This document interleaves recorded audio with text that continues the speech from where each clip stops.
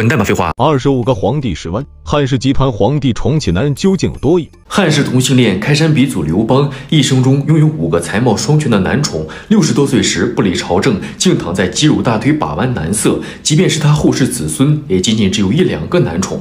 汉代人的厕所是什么样子的？它长这样，叫做混，上面是厕所，下面是猪圈。想象一下，古人在上面方便，底下有一头猪瞪着眼睛，张着嘴，画面也是很美观的。历史上竟有这么一次传奇的大姨妈，凭借一腔热血，竟让一个王朝续命二百年。据说汉景帝晚上翻到了成绩的牌子，可他大姨妈来了，于是就找了侍女代替。可过后侍女竟然怀孕了，生了儿子刘发。六世之后便诞生了天选之子刘秀，推翻王莽新朝，为汉朝续命两百年。汉朝有哪些奇葩法律？一、三人以上无故群饮酒，罚金四两。二、剩女税。汉惠帝即位后规定，十五岁到三十岁尚未嫁配的女子需交纳五倍的人头税。三、上门女婿不得参加国家公务员考试。断袖之癖是怎么来的？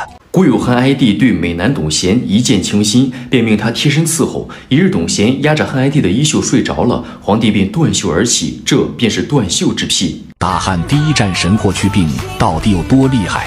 十七岁和舅舅卫青率领八百骑兵斩杀匈奴两千余人，打通河西走廊。十九岁率领一万标记重创匈奴，二十一岁便封狼居胥，达成古代武将最高成就。霍去病的死因到底是什么？一可能是身体不好，长期劳累而猝死的；二可能是感染瘟疫而病逝；三还有说法是被汉武帝害死的。